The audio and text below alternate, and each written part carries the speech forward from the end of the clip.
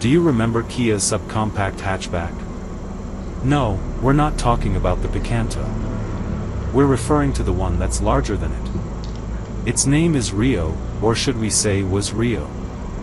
The third generation Rio wasn't exactly a huge seller in the Philippines and has been pulled out of the local market for quite some time already. That's a shame because it was a solid, competent, if not exciting, little hatchback.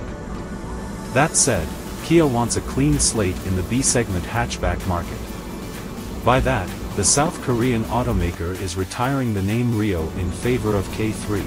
Some of its primary competitors include the Honda City hatchback and Toyota Yaris. Other stories you might have missed. DMD can make your Suzuki Jimny look like a classic G-Class.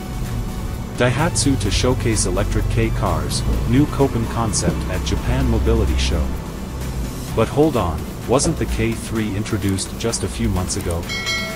Well, yes, but that was the sedan version, and it was touted as the replacement for the Rio sedan. Photo by Kia.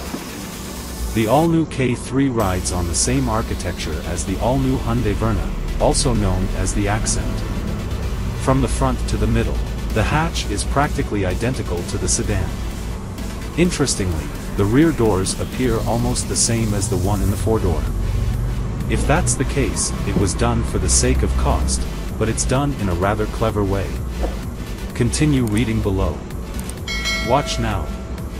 Obviously, the big difference is at the back, swapping its trunk for a hatch.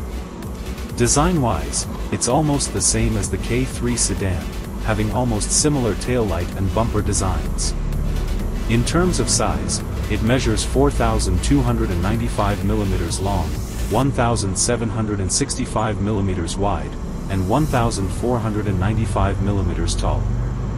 It's much larger than the Rio hatchback which was at 4,065 mm long, 1,725 mm wide, and 1,000